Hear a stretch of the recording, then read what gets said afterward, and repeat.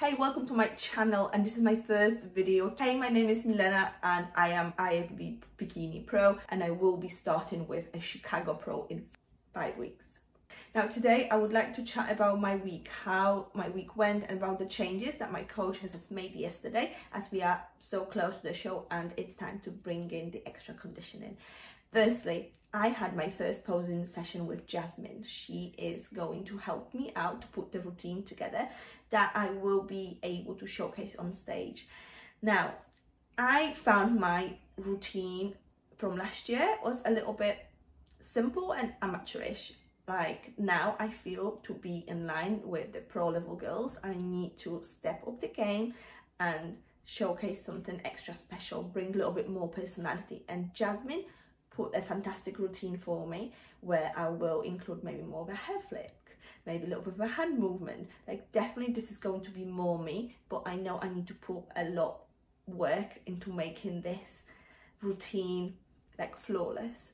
I am learning step by step. So the way that I've divided my work, every transition I learn each morning and then once I finish all of the transitions, I can repeat the whole uh, routine and in two weeks time I'll have a meeting with Jasmine so hopefully we can work on the final details and make little tweaks like for now.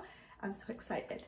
Now uh, yesterday I visited the shred center where my coach is um, based when he's training and we had actually a really good team day as there were a lot more athletes from Team Pro Coach and we could all train together. So I started with um, a leg day and then we had a face-to-face -face check-in with Cal when I went through my routine so Cal could see my body, where we are um, leanness-wise, physique-wise and make any sort of recommendations and changes.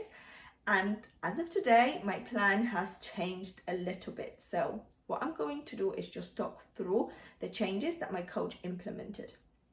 Now, start maybe with why decided to make those changes. Um, stage ready condition means um, a lot more lines, a really low body fat, and it's not just abs and like maybe lean shoulders. It's about like getting the condition around the legs and glutes and getting this like lines and really low body fat around the areas that's where we as naturally as females hold a little bit more body fat. So getting to this condition it's not easy. It's going to require a lot more harder work and our bodies do not want to get to this level of neediness therefore there are changes and there are like we call it a push needed for our body to like drop the fat from those areas. So means more output more cardio and taking some calories away as well just to create a greater deficit really to get those lines that are needed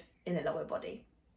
Now um, for me with regards to the diet i have um, included what i currently eating as of today on my training day and on my rest day and I purposely will not be including my calories or my portions because this plan is been made for me. It won't be suitable for another person so that's why I'm not including portions and calories but you can see my, my food sources. Um, with regards to my training, I'm training five times per week and that did not change. I've got three lower body sessions and two upper body sessions.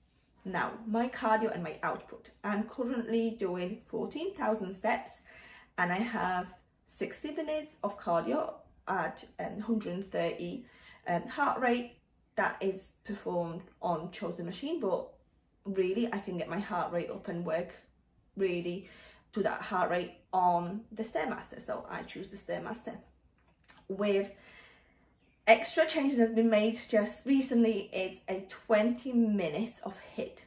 But listen it's not the whole 20 minutes of HIIT. It's 30 seconds of maximum work and then one and a half minute of steady state. And that's times 10 so that's total of 20 minutes. Yes so that is my current uh, plan. That's my current food my current training and my current um, cardio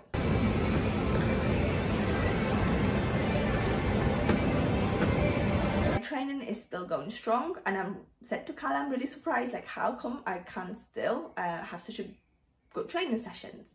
Uh, but then something needs to give because my energy then in the afternoon really, really dips. So the way that I schedule my days is I do, I get up like a half past four in the morning and go for my fasted cardio, then prep my meals, start with my work. Um, I coach my girls online, I uh, catch up with them training plans and do all of my work.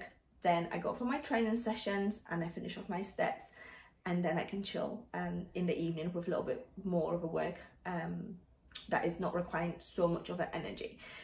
Now, it's totally natural to drop the energy in the evenings, afternoons. At this stage, body is really lean and gets really tired really easily. Plus, I get up super early. So, planning that and making this work with my day is my top priority. So, I really look after myself when I need to rest and make sure that I rest.